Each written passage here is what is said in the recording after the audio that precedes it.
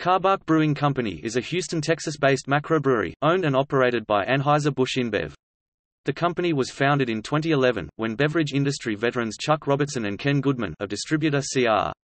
Goodman joined with ex-Flying Dog brewmaster and CEO Eric Warner on a new venture. Since launch, Karbach has experienced rapid growth thanks in part to the brewery's veteran roster.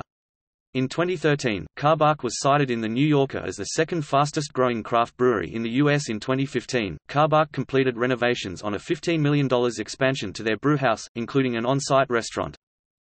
The brewery is named for its location on Karbach Street in Houston's Spring Branch neighborhood.